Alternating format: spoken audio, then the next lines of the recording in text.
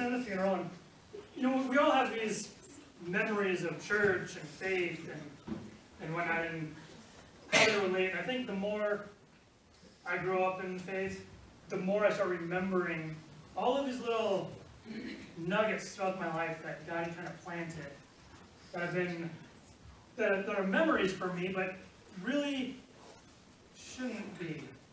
If that makes sense. Like it was, it's the smallest thing becomes one of the greatest memories. One of the things I remember is in, at my grandma's funeral, um, the pastor was sitting down with the family and saying, you know, tell me about uh, Lauren. Tell, tell me about uh, her, what, how you remember her. And one of the things that came up at, in discussion was she had the world's best scrambled eggs. And everybody sat there and agreed. They all talked about how great scrambled eggs were. And the pastor said he just kind of sat there and listened, thinking, they're scrambled eggs. How good can they be? Like, everybody likes scrambled eggs, but can they really be like the world's best scrambled eggs? I mean, just a plain eggs. She didn't put nothing really, you know, just, they were the best. And, and I think uh, what he come down to when he was get, preparing the service, he's like, how do I tell people that she's remembered by her scrambled eggs? and it wasn't necessarily the scrambled eggs that were delicious, it was her love. Because they're made with love. She enjoyed getting up and making everybody breakfast. And, and so love was the perfect ingredient. On a more relatable level, I mean, you may have a family member who just is an amazing cook. It doesn't matter what they cook, it's great. um, but uh, throughout uh, the cartoon SpongeBob SquarePants, there's two, there's two people in this world. You either love it or you hate it. Either way, throughout it, there is this uh, um, guy named Plankton who's always trying to steal a secret recipe. And forever and ever, for as long as the show's been going, it's always been a secret. And they didn't really tell you, but it does eventually come out that the secret to the Krabby Patty is love. And that's why they're so good, because SpongeBob makes them, and he absolutely loves it. And so he takes great care, passion, and he puts all his love into it. And so I, I head that off because we're going to, over the next, I don't know, 13 weeks, if I decide to stop there, we're going to go over the Sermon on the Mount. And the Sermon on the Mount is Jesus' like foundation. It's, it's kind of early in his ministry. And at the end of it, it says, everybody was amazed how he taught with such authority. Because it wasn't that he came and taught some kind of philosophy, but it was a declaration. And it was authoritative. But it was also extremely wise. And, and it fit with everything they believed in the doctrine and everything. So and so, what it was is it's his love. These are not, he didn't say any truth that hasn't already been taught. Well, maybe a little bit. Exag I would say he might have exaggerated compared to what other teachers at the time.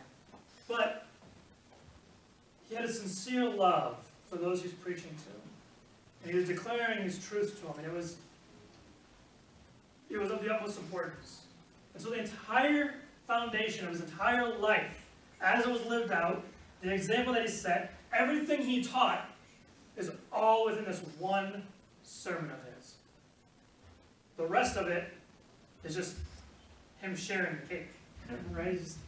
Leading by example and continuing to share the same message in different ways to different people to others who haven't heard it. But this one, this one is so important and so pivotal in the life of Christ because it it actually has everything he's ever taught in it, as well as the example that he provided. So before we get into it, I'd just like to open up in prayer uh, over this word. And then if you have your Bibles with you, just bookmark Matthew 5. We're going to be here for a while. Well, I mean, we'll go into, we'll go into 6 and 7 eventually. But it'll be a progression. We're going to be here for a while. Let's pray. Heavenly Father, we thank you for this day and this word that you give us. We thank you for Jesus Christ and the ministry that he has for us, both in his word and his actions as an example, and ultimately as a sacrifice. Lord, the song was so powerful that we're thankful for the scars. We're thankful for his scars that remind us who he is. The Son of God, the Messiah, the suffering servant, the one who's resurrected. We see those scars, And others have seen those scars, personal testimonies, seen those scars as a sign of his resurrection. And we know that by that sign, we are saved by faith through him. And we, we thank you immeasurably for that. But what does that mean for us? Help us to be inspired to know how that transforms us. As we move into this new year with New Year's resolutions, a new year, new me. Lord, how that be true to us. Let us start from inside. Let us be cleansed from the inside, transform the inside, so that the outside may reflect your righteousness. And it's in Jesus' name I pray. Amen. So I hope you got your thinking caps on because you're going to get learned today. I'm going to do the best I can at doing some teaching at the same time as preaching, which you would think are the same, but they're not. First, this starts up with the, we often call it the Beatitudes or the Beatitudes. The sermon starts right there. In I think before we get into the, the Beatitudes, we need to kind of preface what they are. So the Beatitudes, or the Beatitude, where do you want to go, it comes from the Latin word Beatus, which means blessed. Right, so, so we tend to use them as like Beatitudes, like, like B, like the letter B, like they all start with blessed, or blessed, however you want to pronounce it. They're all, they all start with blessed. And so that's how I remember them, like, oh, the Beatitudes, because they all start with B, right? And, and maybe they're an attitude, right? So they're like B, attitudes. No, kind of, yes, but not, but not really. But it's a great way to remember who they, what they are and where they are, and reference and make a connection. But these are, if this Sermon on the Mount is the recipe for the perfect scrambled eggs, the Beatitudes are the ingredients list. So if you ever look at an ingredient, if you ever look at a recipe, typically there's a list of ingredients and then the recipe follows. It says, you're going to get all these things. So then you get them all out, you get them all ready. And then it says, these are how you use these things. And that's really what this part of the sermon is. It's saying, this is the ingredients. And of course, none of it is possible without love, right? These are just eggs. But with love, they're perfect eggs. And everybody will remember it. So, those are the Beatitudes. We have to know that first. The second thing we have to know is the word blessed. We live in a culture where we feel like if somebody's blessed, in fact, it's not even this culture, all around the world, if people are blessed, it's because they have something. They've been fortunate in a way that's tangible. And that kind of falls short in this Greek word. This Greek word for blessed is also the same word as happy. So blessed isn't necessarily something you possess, but it's a state of being. And so we have to remember that, that, that being blessed isn't necessarily that you have something or something that's measurable or you've attained something, but but it's something that's more inward. It's something that's, that's a happiness. It's a joy that you have inside of you. It's a, it's a happiness. So, so we want to think of that first,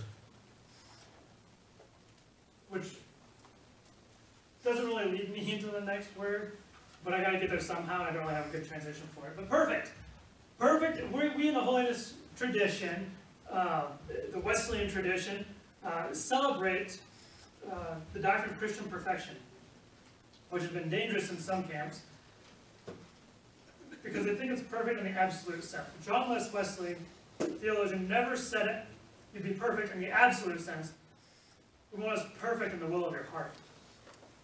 And so, the word perfect, the, the Greek word, uh, teleos, I'm pretty sure I'm pronouncing it right. Um, to be perfect, it's also used by Paul to mean mature.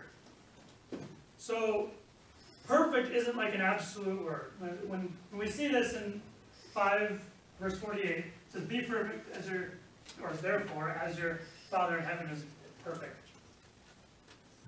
We are much like this bowl. Probably can, you know, maybe it had, was cup, had water in it, right? And then it broke. And now it no longer holds water. And so somebody has glued it together. Now it can hold water again. And we are very much like this bowl. We are broken from, in our lives. And through Christ, we can be healed and made perfect again. Is it absolutely perfect? Is it all one whole piece? No. But the idea of perfect in Greek, if something was perfect, it's because, it, even in the Hebrew tradition, it was still able to carry out its function. So even though we would look at this guy, it's not perfect, it's broken, it's been glued together, and so no, it's absolutely perfect because it can carry out its purpose. That's what it was made. And so throughout this whole sermon series, it's going to be all about perfection, about being perfect, and what that means and what that looks like. And I think this is one of the greatest illustrations we have so far, is this idea that we aren't perfect aesthetically, but we can still live out our purpose fully and perfectly, as God intended us to. And it starts here with this, with these Beatitudes. And so if you're, if you're there yet, if you're, if you're in there, we are going to read. I'm going to try to read. Somehow it's got really blurry. So now when Jesus saw the crowds, he went up on the mountainside and sat down. His disciples came to him, and he began to teach them. Blessed are the poor in spirit, for theirs is the kingdom of heaven. Blessed are those who mourn, for they will be comforted. Blessed are the meek, for they will inherit the earth. Blessed are those who hunger and thirst for righteousness, for they will be filled. Blessed are the merciful, for they will be shown mercy. And blessed are the pure in heart, for they will see God. Blessed are the peacemakers, for they will be called children of God. Blessed are those who are persecuted because of righteousness, for theirs is the kingdom of heaven. And blessed are you when people insult you, persecute you, and falsely say all kinds of evil against you because of me. Rejoice and be glad, because great is your reward in heaven. For in the same way they persecuted the prophets who were before you. This is our ingredients list. One of the things we have to remember is that these are not philosophies. This is not, oh, you'll be blessed if you're poor in spirit, and you'll receive the kingdom of heaven. This, no, no, it's declarative. This is the beginning of Jesus' ministry. He's declaring that through him, in the kingdom of heaven that's coming, you will be blessed because you are poor in spirit. You will be blessed when you are meek. You will be blessed when you mourn. You'll be blessed when you're pure in heart. Or if we change those words to happy. You will be happy when you're a peacemaker. You'll be happy when you're persecuted or suffering. But why? Why is this? Why, why is it that we would be blessed? in some of these, some of these are good. But being poor and hungry and thirsty and meek, how are those, how are those supposed to be? Remember, these are a state of being. It's a state of being happy. I wrote my notes on a handy dandy. Call me Steve. Got that? I think it's Joe now. Can't remember. Remember, to be perfect in Christ, to have Christian perfection, isn't necessarily to be blessed. It's to be transformed. It's the purity of heart. We may do things and fall short. We may be forgetful. We may say things unintentionally that hurt another. But what are our intentions? Where are we at heart? Can we be pure at heart? And that's where these ingredients to being perfect and all the Christian sense are, are kind of held together by love, which is God. As John explains to us, God is love.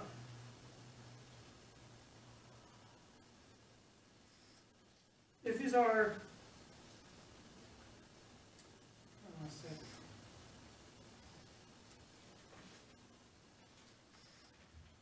I'm going to backtrack a little bit.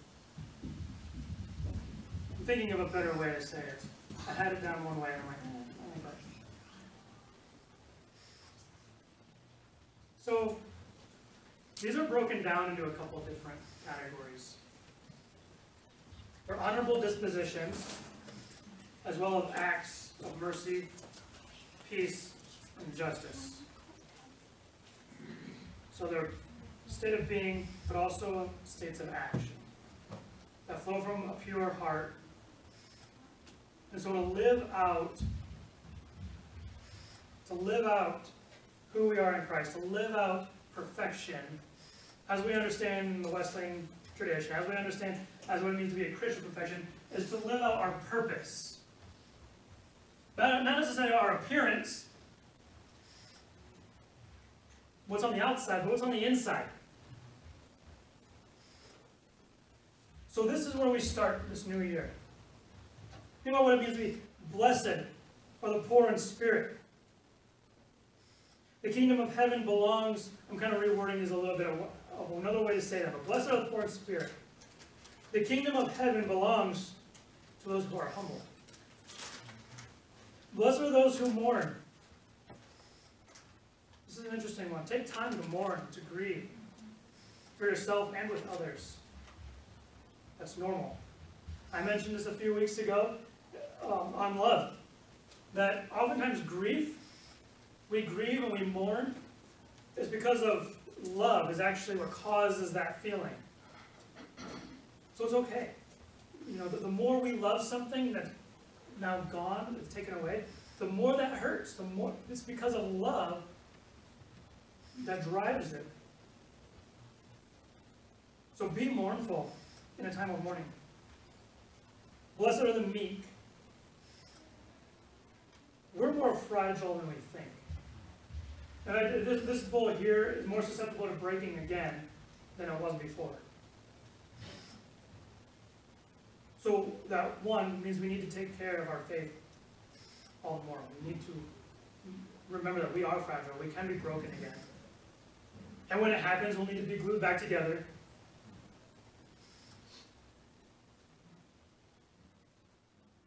We need to be gentle, quiet, and easy in composure. Blessed are those who hunger and thirst for righteousness. Desire to deepen your relationship with Christ. Hunger and thirst for the Word of God. It says, for they will be filled. Blessed are the merciful. Forgive and be forgiven. Jesus has a lot of teaching on that to come. Blessed are the pure in heart. Keep your intentions rooted.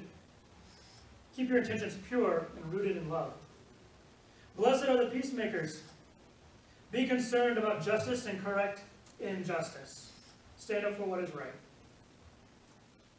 Blessed are those who are persecuted. Do what's right.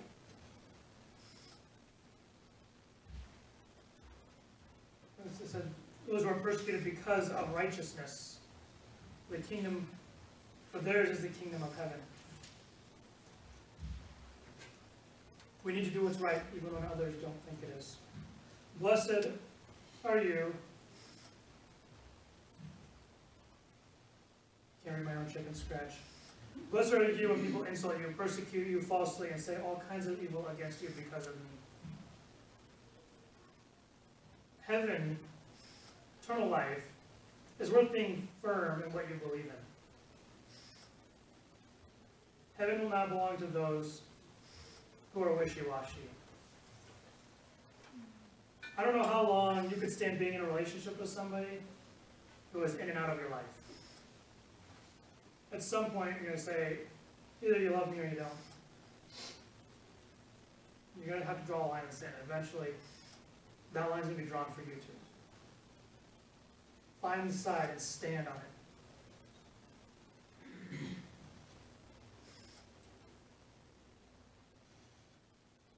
I added in here. Heaven is worth being firm in what you believe in, and the one who makes all of this possible. Jesus. Without the love of Christ, without what he's done. As he's declaring it, he's declaring the kingdom of heaven in a lot of these. It's because he ushers in the kingdom of heaven.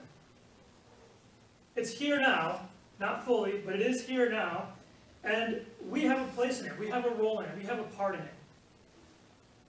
And it begins with us being these things. And we can only be these things because we know Christ as Lord and Savior. At least I hope we do. So as we go on in the next umpteen weeks, I'm counting 13, including this one. Unless I'm inspired to continue through Pentecost. But right now, we're just going up until Easter. But I think it's important that we remember that we can't just know that Christ saved us and then continue on with our lives. We have to be changed by it. And amidst the New Year's and seeing people with New Year's resolutions, walking through Walmart and seeing all of their fitness stuff in that very first aisle right when you walk in the door, it's telling. We know it. It's like this time of year. It's like a cycle. Jesus breaks the cycle of madness. It's a true transformation. But it only happens if you take it seriously. And if you believe wholeheartedly that you'll find happiness in weakness, in meekness, in mourning, and poor in spirit, when you're hungry and thirsty. When you search Christ in these things, you're blessed because of it. You're blessed, you're, you're happy, you're fortunate. You're fortunate to know and receive Christ in influence. So as you join me to in prayer for your New Year's resolution I'm giving to you whether you want it or not. Pray with me. Heavenly Father, we thank you for Christ who makes things possible, who takes apart, takes up our broken pieces and glues them back together so that we can live a perfect cause for you. Lord, help me to nurture the shattered vessel I am. Tell me to be gentle with it, easy in composure, to love it and cherish it, and to maintain it. Wherever there's holes or cracks or leaks, Lord, point them out to me so that we may bind them together.